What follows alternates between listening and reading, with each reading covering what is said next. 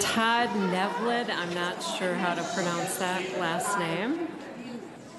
That's okay. I wrote it kind of messy. Sorry. It's tiny, so. I know. What is your last name? Newland. Newland. Sorry. I kind of thought about that after I wrote it, that I probably should have wrote it. it better. Okay. Um, I'm going to try and cut down my speech because it was about five minutes earlier. Um, before summer school started, um, we were told that none of our kids were going to wear masks. We were also told that um, they weren't going to be wearing them once we went back to school. If masks work so well, then why did we have to cancel school last year when we went back to in-person learning? It doesn't make any sense. Um, as of 8:14, so just a week ago, there have been 296 deaths nationwide of 5 to 18-year-old kids. In that same, and that, that's a year and seven months and 10 days.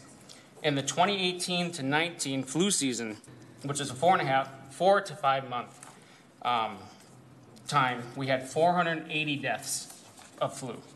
Why are we putting all of this um, effort into stopping COVID when we're not going to stop it.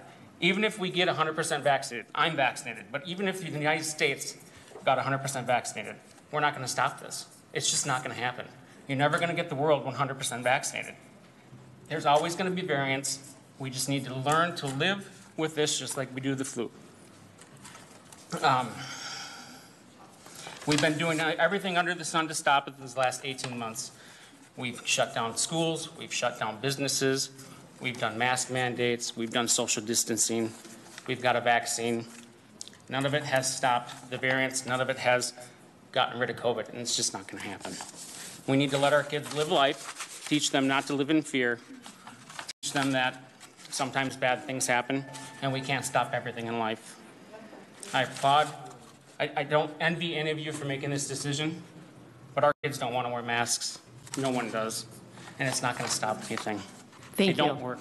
Yep. Thank you. Thank you. Christina?